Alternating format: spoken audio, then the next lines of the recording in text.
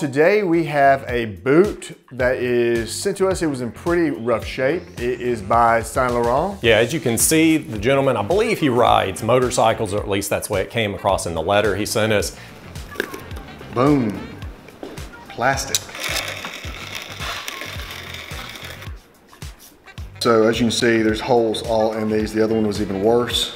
Let's get this welt and create this kind of a cup for the, the upper to sit down into.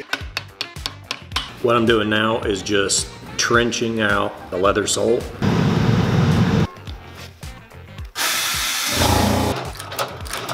These things right here, yeah, they're good. Now we're doing these right here, real stack leather.